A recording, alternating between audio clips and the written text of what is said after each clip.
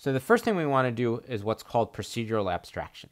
This is a really powerful idea. This is one of the ways we avoid having to do things over and over again by hand is that we can write the code, write it once and use it many times, changing the inputs to get different behaviors.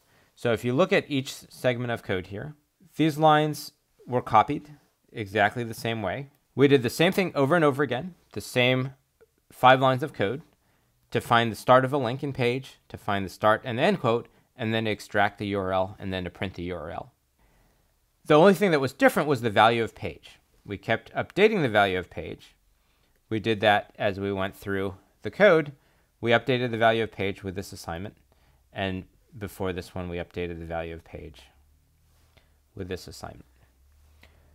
So the idea behind procedural abstraction is that anything that we're doing over and over again, we want to abstract, we want to make it a procedure, and we want to make the things that change inputs. So that means instead of having to type all this code over and over again, we want to make page an input. Page is the input, that's something that changes. And we want to make the URL, that's the result we want, an output. So that's our goal is to turn this into a procedure where page is the input. We can do the same code over and over again. And every time we do it, we want to get this URL value as the output.